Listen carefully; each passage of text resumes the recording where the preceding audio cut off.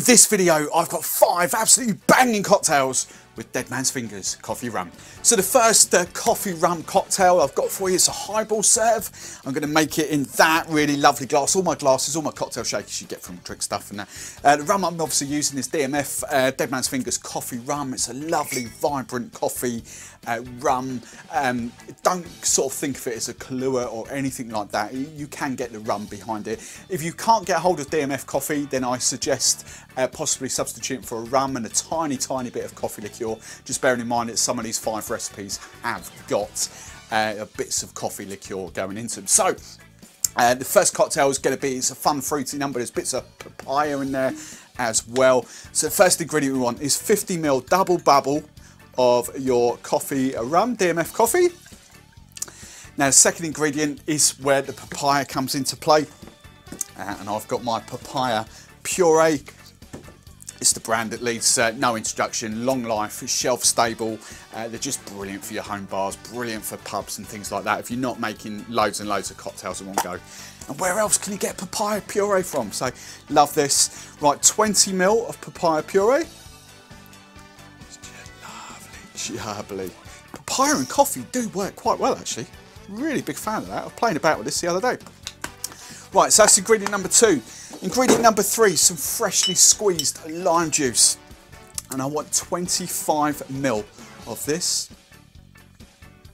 All the, uh, the cocktail, the ingredients, the recipes are in the description below. So check out, if you want these recipes, uh, do check out the description. They're all in there.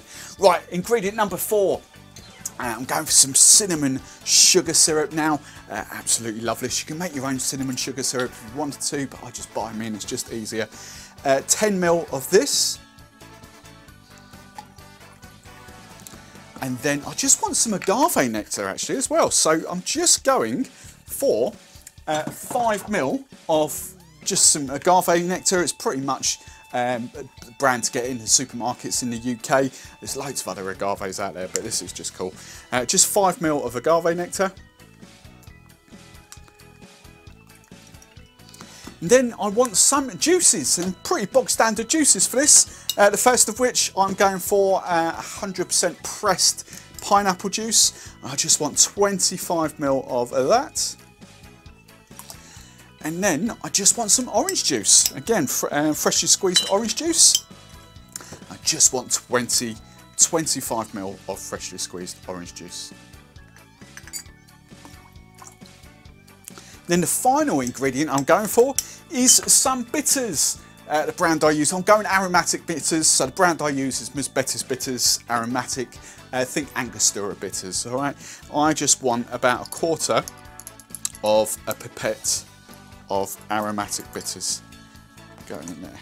Lovely. Now be equivalent of about two, two big, maybe three dashes of Angostura. So there we go, that's all our ingredients. Now I'm just going to ice this up as always. The theme for my cocktails, I need you guys to come up with a name, so drop your name suggestions in the comments below. Right, loads of ice. We're going to give this some welly shaky shaky for a good sort of 12 seconds or so. When that is all mixed together, oh, smells, the papaya smells so good. Uh, if you're just making this at home, just pour that straight in there uh, with, with, those ice cubes. I am going to uh, single strain now, I'm going to use fresh ice.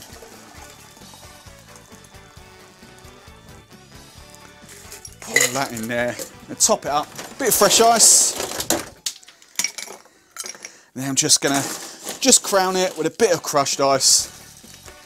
Crushed ice to make your drinks look pretty. And then garnish, it's up to you, but I think the obvious one for me is kind of a pineapple chunk. And then I've actually got a pineapple leaf, pineapple spear here as well.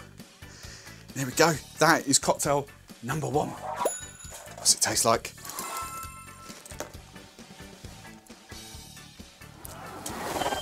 Oh, so good. Mm. That really does come through. Papaya, the coffee, that works. Absolutely love that. So that's your first cocktail. Again, names, want to see the names coming in for that one. The second cocktail, uh, we couldn't not really do uh, a coffee rum cocktail without doing an espresso martini, but I've got a little subtle flip uh, in this one. So don't think standard, uh, just a very, very little subtle flip. So this is absolutely delicious. Love this one. So as always, when I'm at home, I just chill my uh, coupe glasses, martini glasses down. I'm going to make it in a shaker as well. If you've got your glasses in the fridge or a freezer, don't worry about that bit. Right, uh, first ingredient, 35 mil of uh, your DMF coffee rum. Go. Now, there's a little bit more booze coming in here. Um, the second ingredient. Now, because I did get a shout out from a couple of you Aussies uh, saying that DMF, uh, this is the whole reason for this video actually, saying DMF has just sort of made it to Australia, uh, the coffee one. Uh, I was going to use a coffee uh, liqueur, obviously, uh, but I'm actually for this one, normally I would go Kahlua, but actually for this one I'm going Mr. Black. Uh, that is a coffee, uh, an Australian coffee liqueur. This very, the subtle difference between that and Kahlua is that this isn't this is isn't as sweet. Okay, there's not as much sugar, if any sugar, in that at all. It's just a cold brew coffee liqueur, and just works because you've obviously got a little bit of sweetness going in with uh, the coffee rum there. So I just want 25 mil of this, Mr. Black. There we go. Now realise, as I say, I'm doing this for the Australians. I, I am working in mil, so you can just sort of um, pop it up to ounces if you wanted to. But uh, obviously I'm UK, so I work in mil over here. So that's the second ingredient. The third ingredient, I'm going to add a little bit of chocolate for this. Chocolate and coffee. It's obviously amazing. It's my coffee uh, chocolate liqueur of choice, Bouvray, absolutely love this. Just think like li literally liquid dairy milk or liquid galaxy. So, so good. Uh, equivalents would be something like Mozart. Um, don't think cacao. Cacao will work, uh, but it's not quite as, as you'll see from this. It's not quite as sort, sort of thick and luxurious as this. So I just want 10 ml of coffee, uh, of chocolate liqueur. Literally look at that. Oh, it's so good have this in yogurt and ice cream. Oh, boozy chocolate, we love it. Right, the final ingredient we're going for is uh, just some fresh espresso. And uh, I've got the videos on my channel. I haven't got a coffee machine. I use instant coffee uh, for this instant espresso. All right, it's proper, and as you'll see. So I'm going 35 mil. I'm matching the coffee rum in here. 35 mil. So you'll, the clever ones amongst you is how I always do my espresso martinis, uh, go equal in measures, 35, 35, 35. So 35 rum, uh, then we've got 35 of coffee and the chocolate to make that together. Now I've got 35 espresso and that'll fit perfectly in there. Right, ice this down. Uh, and if we, yeah, let's have a go. Come on, get your name suggestions for this one. Obviously, it's an espresso martini, but it's slightly different. So, name suggestions, are pretty please. Right, shaky, shaky. Hard, fast shake, 10, 12 seconds. That is lovely, jubbly. Right, there is one more. As I said, there was a couple of subtle twists. There's another twist coming. Right, get rid of your ice. Now, the subtle flip I'm going for this, I'm going to spritz this with some sort of absinthe kind of thing, pastis. Uh, that is what that is. It's my Cornish pastis, my Cornish sort of absinthe equivalent, if you like. Uh, love that, and I've just got it in a little spritz bottle because all I'm going to do, I'm just going to literally one spray into the bottom there. And that, I promise you, it's really quirky. I think it's the Flying, Flying Frenchman that comes with, or Flying Frenchman's got like five mil of absinthe in it. But I love doing that. You just get that just get a little bit of fantasy there. Right, Heart, um, double strain.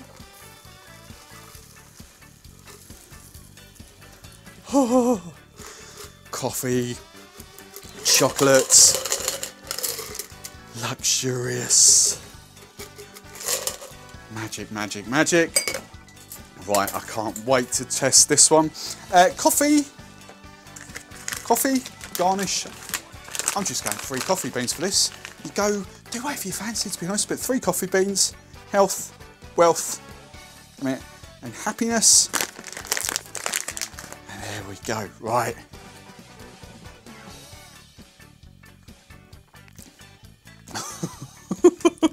oh. oh, that is so good. Mm.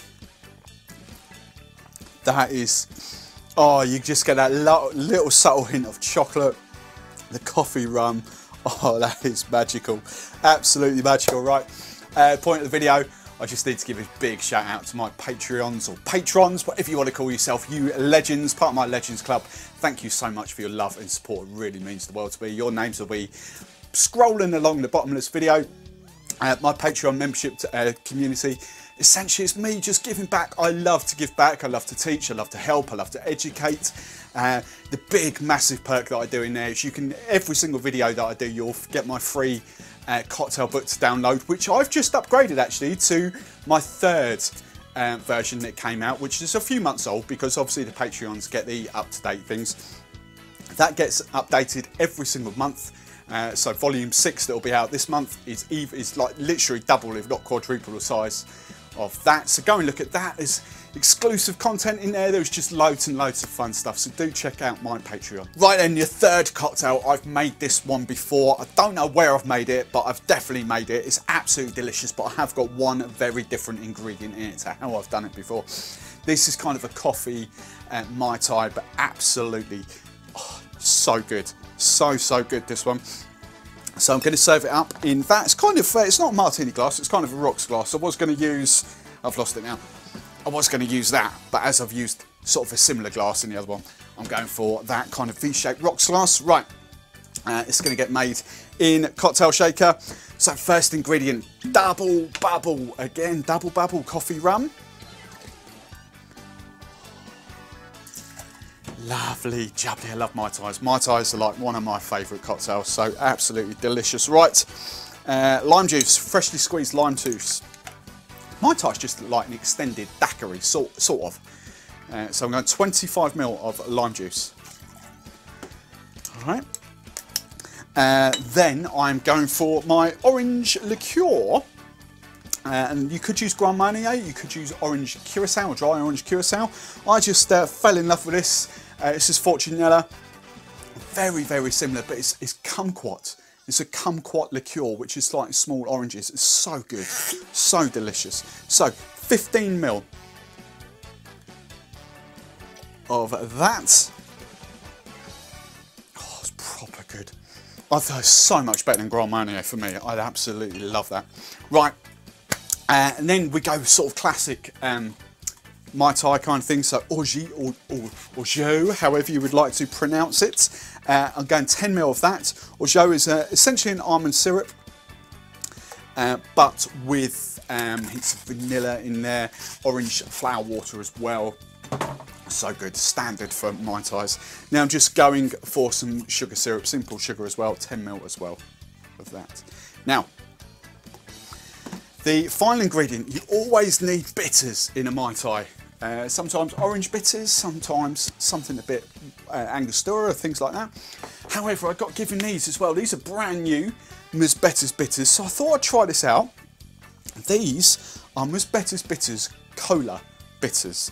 Uh, so think Coke. And these, these are really, really good. Really, really, so I'm having a bit of fun playing about with this and I just kind of found that actually uh, they do kind of Coke and orange kind of works together, or cola and orange. Cola and coffee def definitely works together. So I'm just going for a little quarter of a pipette of these cola bitters. And that's it, and that is ready to shake. So we're going to ice that down.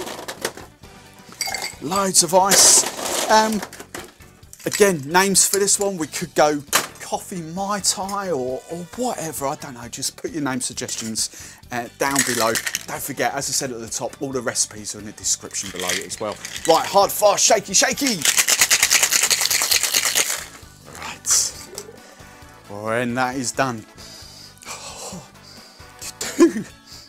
did you know what? Some of the, the note I get off that straight away is that little bit of cola. That's really good. It's not much in there either. Right, I am going single strain. Again, if you're making this at home, just use that, use that ice. No great dramas. Single strain that out. I'm going to top this up with crushed ice. And then just to garnish, get rid of that one, straight chunky ice, just to garnish, I'm going for my standard sort of Mai Tai garnish, which is uh, dehydrated orange or fresh orange. And then I'm just going for a proper maraschino cherry as well. So just a single maraschino cherry, just because it's the excuse to do that. Best goddamn cherries in the world, these. Ignore your red atomic things, get proper cherries. So there we go, as I've got one there as well, look. Could go pineapple leaf. But there we have it. Coffee Mai Tai, what are you calling this one?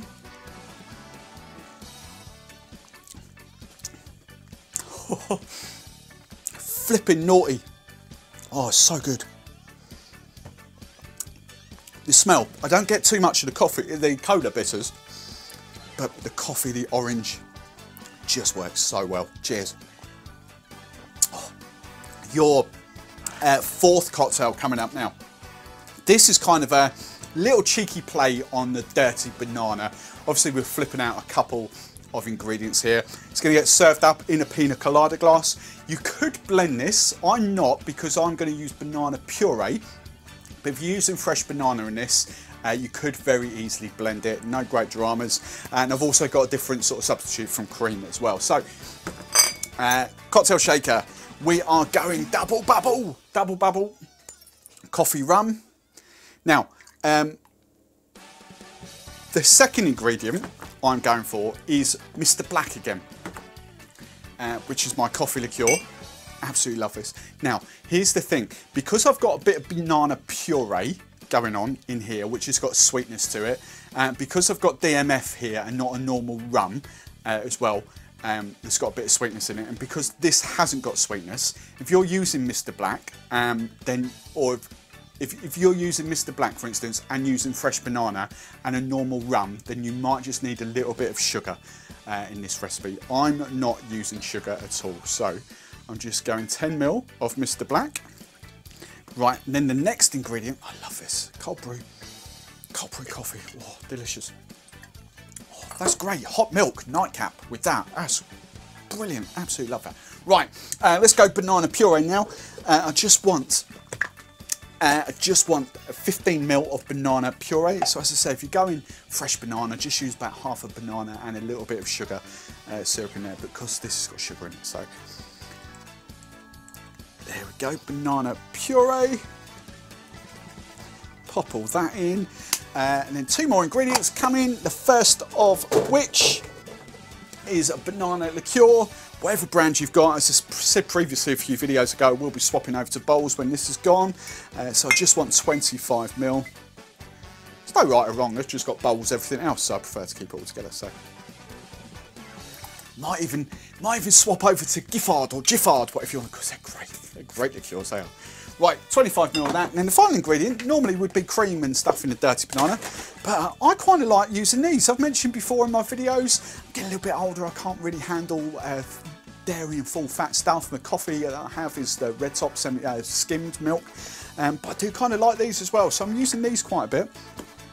Uh, and then just to get rid of all that banana, I want 50 ml of almond, almond milk. So 25, there 50. Right. Now just need to ice this up and give it a good old shake. We definitely do need a new name for this because this can't be the dirty banana. This has got to be something different with the almond milk, with the coffee rum. So name suggestions. Shaky, shaky. Right. I'm going to top that with crushed ice, so I'm going to single strain this into a pina colada glass.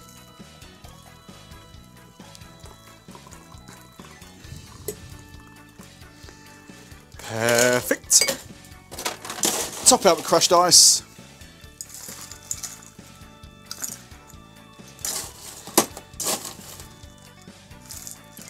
There we go. And then, uh, to garnish, here's one I've prepared earlier. If that comes out. Got a little bit of banana kebab. A little bit of a kebab, banana kebab there. How's that? Right. It's going to be fun and innocent, isn't it?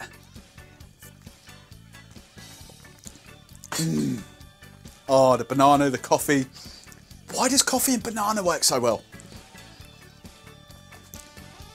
Oh, that is fun and innocent. Do you know what? I think it does because it's not as heavy as cream or anything like that.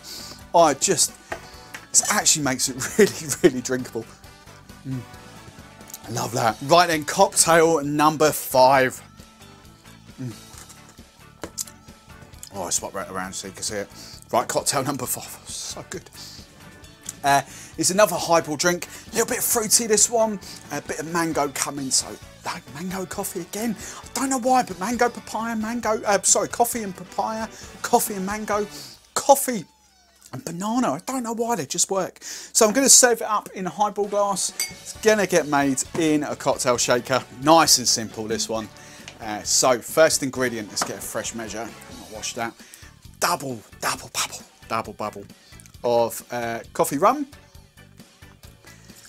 There we go, that's ingredient number one. Ingredient number two, uh, let's go mango puree so we can wash the measure out afterwards.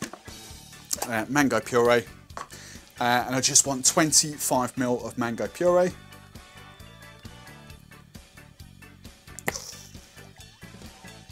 Then I'm going to match that mango puree with some lime juice. So 25 ml of freshly squeezed lime juice.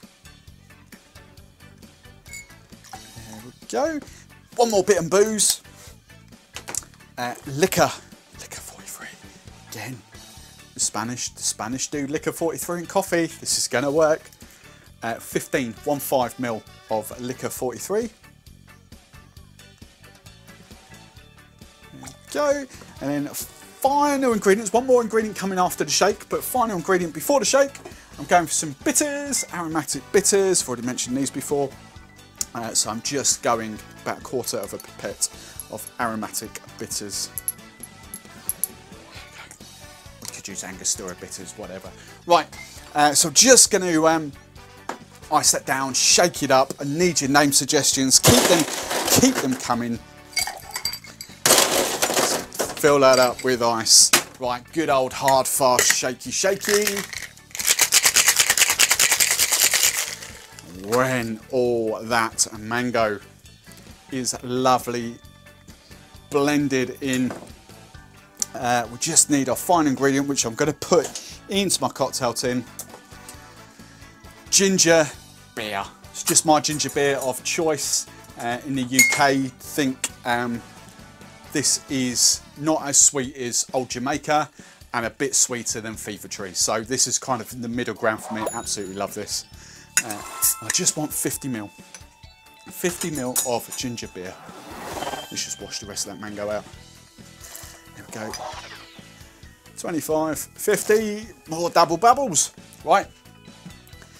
Now, uh, just going to single strain that into my glass. Say, keep saying if you're at home, just use that ice, not a problem. There we go. Perfect. Top it up with some ice.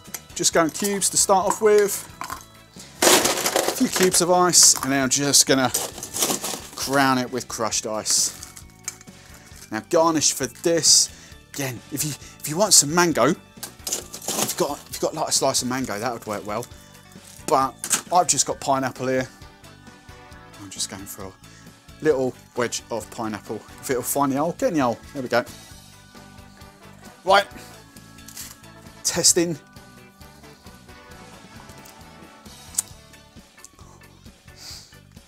Oh, which one?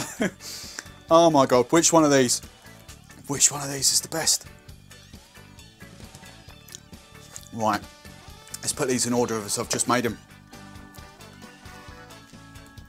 Number four. Number three was the Mai Tai. Number two. And that one, number one. Oh, I don't know.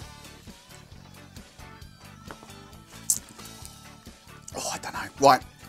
Oh, number one. Number two. Love a Mai Tai. I think I'm going to this one, the banana one, number three. Oh, that's a real... Oh! How do I separate them? Definitely one, two. Oh, it's a cop-out to say you call third, isn't it? It's a cop-out just because they're in that order, third, fourth, fifth. Ah, oh, dunno.